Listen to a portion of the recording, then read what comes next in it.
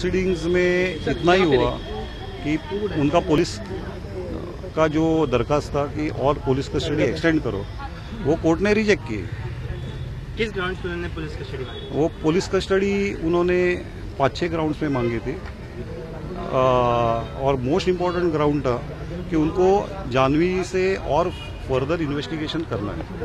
उनका इंटरोगेशन लेके तो आ, वो जो ग्राउंड था उसको सपोर्टिंग मटेरियल कुछ दिखा नहीं, इसलिए कोर्ट ने वो रिजेक्ट कर दिया। स्पॉट पे वो, वही हाथ से लोगों को पैसे दे रही थी कि ये ले लो, मेरे को जाने दो। और आज वही हाथ पे वो प्लास्टर बन गए। ये आप लोग को लगता है सही है?